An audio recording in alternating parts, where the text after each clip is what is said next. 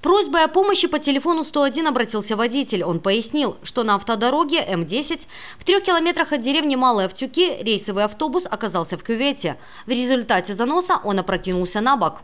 МАЗ следовал по маршруту Гомель-Лельчицы. В салоне было 8 пассажиров. Прибывшие к месту вызова спасатели помогли вытянуть транспортное средство из сугроба и поставить его на колеса. Пассажиры и водитель покинули автобус самостоятельно еще до прибытия подразделения МЧС. Пострадавших нет, топливо не разлилось. В результате аварии автобус получил незначительные механические повреждения.